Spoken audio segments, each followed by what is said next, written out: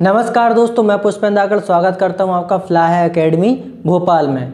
इस वीडियो में हम पढ़ेंगे वाच्य परिवर्तन।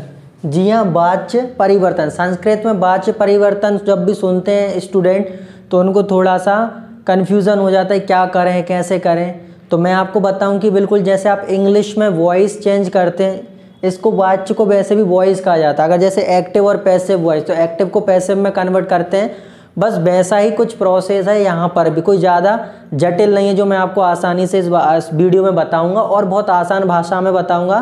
तो वीडियो को शुरू से लेके एंड तक ज़रूर देखिएगा। देखिए, सबसे पहले बात करते हैं कि जो वाच्य वॉइस कितने होते हैं संस्कृत में? तो तीन होते हैं कर्तव्यवाच्य कर्मवाच्य और भाववाच्य जो कर्तव्यवाच्य होता है, इसको हम एक्टिव बोलेंगे। अगर हम इंग्लिश में बात करें, कर्म को पैसे बोलेंगे और भाव को इम्पर्सनल वॉइस कहा जाता है। तो बस यहाँ पे इतना सा चेंज है कि इंग्लिश में दो होते हैं एक्टिव और पैसिव यहाँ पर तीन है।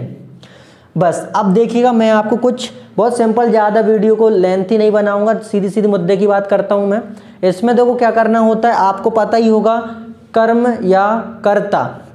कर्ता मीन सब्जेक्ट और कर्म जो व्यक्ति कर रहा होता है ऑब्जेक्ट तो संस्कृत में क्या होता है? Subject converse to object object converse to subject मतलब सब्जेक्ट ऑब्जेक्ट बन जाता है ऑब्जेक्ट सब्जेक्ट बन जाता है। और वहाँ पर वर्ब की कोई सी भी फॉर्म क्यों ना हो? आपको थर्ड फॉर्म यूज़ करना होता है। कुछ इस तरह के रूल होते हैं इंग्लिश में। तो संस्कृत में भी कुछ इस तरह के ही रूल होते हैं तो मैं आपको एक एक रूल समझाता हूँ और फिर हम बात करते हैं। जैसे जब भी हमें कोई भी देखिएगा और रूल बता दूँ। कि जो आपका कर्तव्यवाद से मतलब एक्टिव से ही पैसिव में कन्वर्ट होगा पैसिव से एक्टिव में नहीं होता है।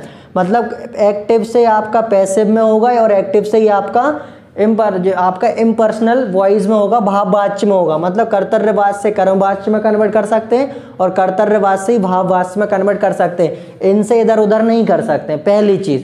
दूसरी चीज़। जैसे कोई भी एक सेंटेंस हम लेते हैं, जैसे वह रोटी खाता है तो सहा रोटी काम खादती। तो वो रोटी खा रहा है तो ये कहीं ना कहीं किस कर्ता की बात हो रही है इसमें? तो मतलब ये कर्तव्यवाच मतलब ये आपका एक्टिव वॉइस है। तो इसको पैसे में कन्वर्ट करना है। तो कुछ रूल समझ लीजिए। पहले हम क्या करते हैं, कुछ रूल तो मैं आपको एक्टिव से, पहले मैं आपको बता रहा हूँ एक्टिव से पैसिव मैं कन्वर्ट करना, फिर आपको एक्टिव से मैं इम्पर्सनल मतलब आपका कर्तव्यवाद से भाववाच में कन्वर्ट करना बताऊँगा। लेकिन दोनों के रूल सेम टू सेम ज़्यादा फ़र्क नहीं है, बल्कि बस इन दोनों का समझ लीजिए भाववाच का तो बहुत सिंपल हो जाता है। देखिएगा, सबसे पहले, जब आप एक्टिव मतलब कर्तव्यवाद से कर्मवाच में कन्वर्ट करते हैं तो जो कर्ता होता है, कर्ता मीन जो सब्जेक्ट जैसे सा तऊ ते तत्ते तानी, मोहन, सोहन, जो भी नाम है, करता है, वो आपका तृतीय विभक्ति में चला जाता है। किसमें चला जाता है? वो आपका तृतीय विभक्ति में कन्वर्ट हो जाता है। ध्यान नहीं रहे कि तृतीय व्यक्ति में कन्वर्ट होता है। अगर वो एक वचन है तो वो एक वचन में ही होगा दुई वचन है दुई वचन में होगा, और अगर वो बहुवचन में है तो बहुवचन में होगा। मतलब जिस तरह के वचन में या पुरुष में होता है, वो उसी तरीके से तृतीय विभक्ति में चेंज हो जाता है। समझ गए एक बात? दूसरी बात फिर जो कर्म कारक होता है, जो भी कर्म कर रहा होता है सामने वाला व्यक्ति तो वो कर्ता में कन्वर्ट हो जाता है। इसका मतलब ये है कि जो द्वितीय विभक्ति होती है, उसको हम प्रथम विभक्ति में कन्वर्ट करते हैं। मतलब सिंपल सी बात है कि इसको तक दिमाग पे लेने की ज़रूरत नहीं है। अब जब हम बनाएँगे तो बहुत आसानी समझ में आएगा। तो मैं जो कर्ता को, तृतीय व्यक्ति में कैसे कन्वर्ट करते हैं, मैं आपको बता दो? बहुत सारे जो मोहन, सोहन, किसी का भी नाम, इकारांत, उकारांत, आपको पता ही होगा, धातु रूप कैसे बदलते हैं। तो वो आपको आना चाहिए, नहीं आता तो आप मेरे प्रीवियस वीडियो देख लीजिए। पहले, इसके पहले मैं आपको बता दूँ, जैसे लेकिन कुछ सब्जेक्ट जो हम रखते हैं नॉर्मल जो होते हैं, वो मैं आपको कन्वर्ट करके बता दूँ। जैसे शाह मतलब तेन, तऊ मतलब ताब्यम हो जाता है, ते मतलब ते। तुबम मतलब तुबाया युवाम मतलब युवाभ्यम यूयम मतलब युष्माभि, अयम मतलब मया, आबा मतलब आबाभ्यम वयम मतलब अश्माभि।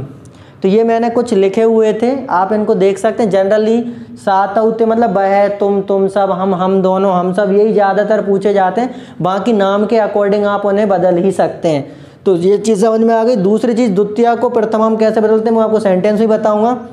अब आते हैं मेन चीज़ धातु पे। आपको पता है, जब भी हम कोई सेंटेंस बनाते हैं, कोई वाक्य बनाते हैं तो उसमें क्या क्या होता है? इंग्लिश में बताता हूँ। उसमें सब्जेक्ट होता है, उसमें वर्ब होती है, और उसमें क्या होता है आपका? ऑब्जेक्ट होता है। मेनली यही चीज़ें होती हैं।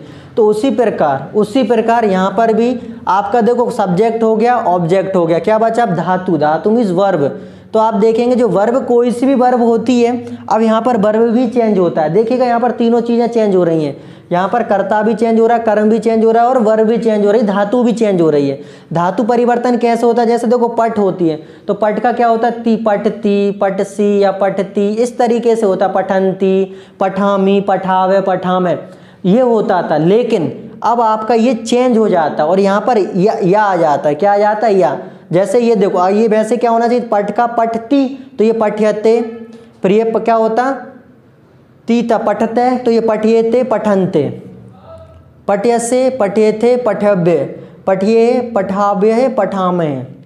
तो मतलब मेरा कहने का मतलब मैंने एक धातु आपको ये पूरे, आपको एक वचन द्विवचन और बहुवचन, प्रथम प्रथम, मध्यम और उत्तम पुरुष में बता दी मैंने आपको। एक वचन द्विवचन बहुवचन में बता देखो एक वचन द्विवचन बहुवचन। प्रथम पुरुष, मध्यम पुरुष, उत्तम पुरुष।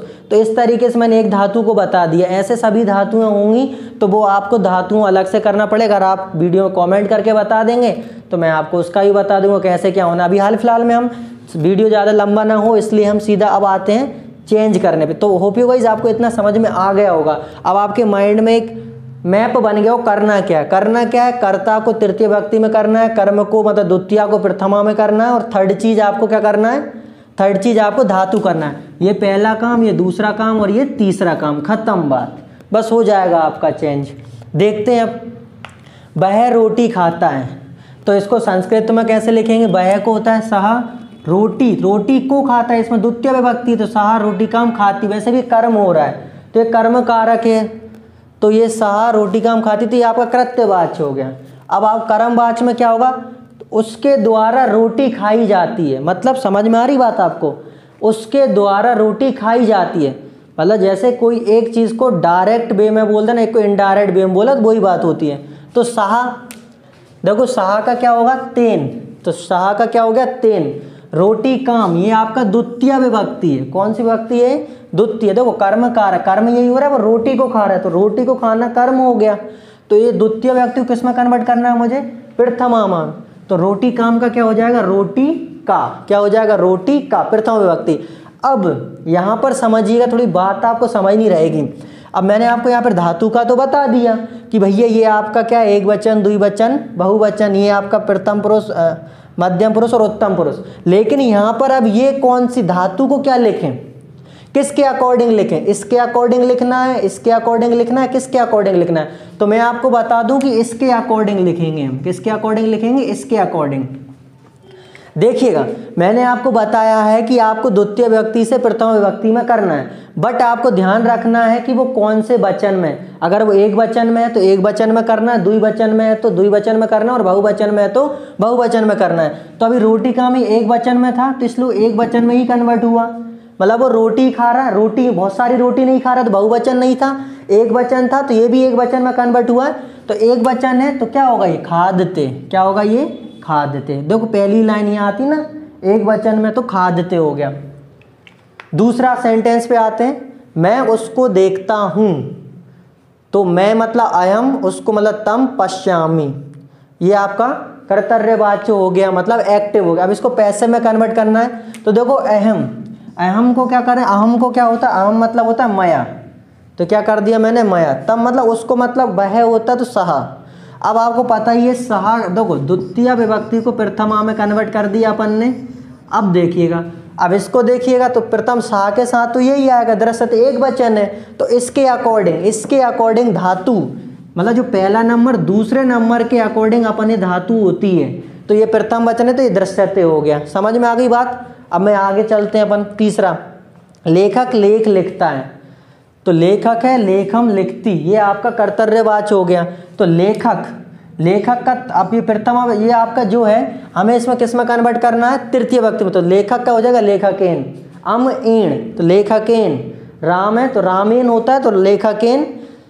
लेखकम तो इसका लेख है प्रथम विभक्ति क्यों एक ही लेख लिख रहा है बंदा। एक ही लेख लिख रहा है तो लेखक है और ये हो जाएगा लिख्यते। बिल्कुल इसी की तरह। देखो, बस कुछ नहीं होता, यहाँ पे या जुड़ जाता है। एक मेन कॉमन बात है, धातु में या जुड़ जाता है।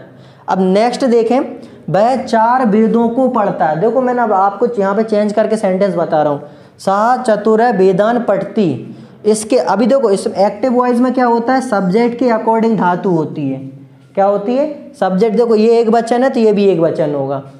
लेकिन, अब यहाँ चेंज करा मैंने तो सहा का तेन, जैसे यहाँ लिखा हुआ है चतुर का चतवार है वेदान। तो इसका ये कौन सी व्यक्ति है? द्वितीय, इसको कौन सी में करना है? प्रथम। तो वेदान का प्रथम वेदहा तो वेदहा प्रथम ये मैंने प्रथम विभक्ति में कर, लेकिन क्या है? बहुवचन है। क्या ये? बहु तो बहुवचन के अनुसार ये बदलेगा। तो पठ्यंते होगा। क्या होगा ये? पठ्यंते। देखिएगा, ये है ना बहुवचन? पढ़ना को बहुवचन क्या होता है? पठ्यंते। समझ में आ गई बात? अगर ये एक वचन है, एक वचन होता तो ये होता पठ्यते। जैसे अगर ये दुई वचन दो वेद पढ़ रहा होता तो पठियते हो जाता ये। और ये बहुत सारे वेद पढ़ रहा है, चार वेद पढ़ रहा है मतलब दो से ज़्यादा बहुवचन है, इसलिए पठियते हो जाए, पठियंते हो गया।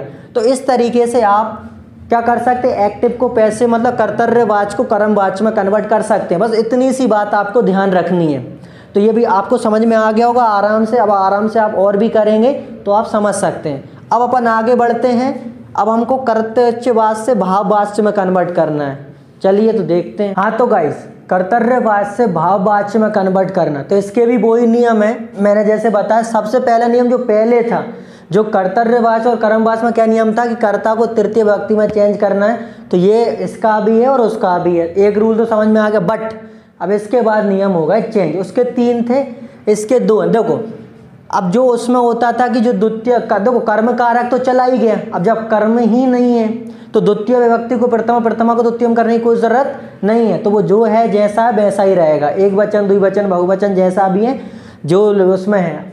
तीसरी चीज़, जो क्रिया होती थी, वर्ब होती थी, धातु, उसमें क्या हो रहा था कि वो अकॉर्डिंग टू किसके बदल रही थी? कर्म के बदल रही थी। अगर कर्म एक वचन है तो वो एक वचन के हिसाब से, दुई वचन है, दुई वचन के हिसाब से, बहुवचन है, बहुवचन। लेकिन यहाँ पर आपको बता दें कि वाच्य की क्रिया हमेशा एक वचन प्रथम पुरुष ही रहती है। क्या होता है? एक वचन प्रथम पुरुष ही रहती है।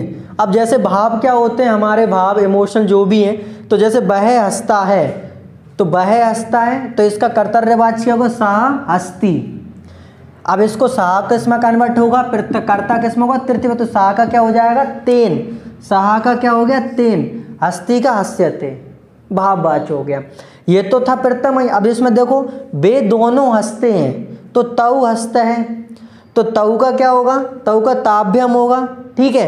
बट यहाँ पर हम क्या करते थे? वो उसको चेंज कर देते। ये बहुवचन है तो बहुवचन, लेकिन ना, यहाँ पर एक वचन ही होगा, चाहे वो द्विवचन हो, बहुवचन हो, एक वचन हो तो हस्यते ही होगा। बे सब हँसते हैं तो बे सब का ते हसंती, ये कर्तव्यवाच हो गया। अब इसमें ते का क्या होगा? तह तही है। और इसमें हसंती हो चाहे कुछ भी हो, इसका एक वचन प्रथम पुरुष रहेगा तो हस्य हस्यते समझ गया भाव वाच्य बिल्कुल। अब जैसे मैं अलग लेता हूँ, नर्तक मंच पर नाचता है तो क्या हो जाएगा? नर्तक है, मंचे नृत्यति। ये कर्तव्यवाच हो गया। अब इसमें नर्तक जो है, कर्ता, इसको तृतीय विभक्ति में चेंज करेंगे तो नर्तकीर्ण हो गया। नर्तकीर्ण मंचे मंचे ही रहेगा। और नृत्यति तो वो तो आपका प्रथम पुरुष एक वचन रहेगा, नृत्यते। समझ गया बात को? बहुत बढ़िया। शेर गरजता है तो सिंह गरजती। कर्तव्यवाच तो जो सिंह है, ये इसका थर्ड हो थर्ड हो जाएगा।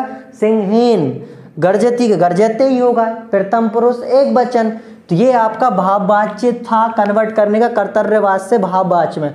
तो गाइज़ ये तो बिल्कुल सिंपल तरीके से मैंने आपको बता दिया, कर्तव्यवाच को कर्मवाच में कन्वर्ट करना और कर्तव्यवाच को भाववाच में कन्वर्ट करना। अगर फिर भी आपको कोई डाउट है, कोई शंका है इस वीडियो से रिलेटेड इसमें कोई भी आपको दिक्कत, परेशानी था तो मुझे कॉमेंट करें तो मैं उस तरीके से या तो लाइव आकर या अलग से कोई वीडियो बना दूँगा। डाउट सेशन ज़रूर रखेंगे हम इसके लिए। तो आपके पास कोई भी डाउट हो तो आप बेफिक्र होकर निश्चिंत होकर आप मुझे कमेंट करें। और गाइज़ अगर आपको वीडियो बहुत अच्छा लगा है और आपको लगता है कि उपयोगी है तो अपने परिवार वालों के साथ, मित्रों के साथ, सभी के साथ शेयर करें। ज़्यादा से ज़्यादा लोग उस पर ये वीडियो पहुँचाएँ, ताकि उनको भी कोई दिक्कत, परेशानी नहीं है। और गाइज़ इसी के साथ आप हमारी वेबसाइट www.dhakad विज़िट कर सकते हैं, जिस पर आप संस्कृत के साथ साथ स्पोकन इंग्लिश है, और भी आप बहुत सारी चीज़ों को वहाँ पर एक्सप्लोर कर सकते हैं। वहाँ पर हमने अभी एक ऑफ़र भी चलाया हुआ है स्पोकन इंग्लिश का, जहाँ पर आपको फोर नाइन नाइन में मात्र आप स्पोकन इंग्लिश का कोर्स कर सकते हैं।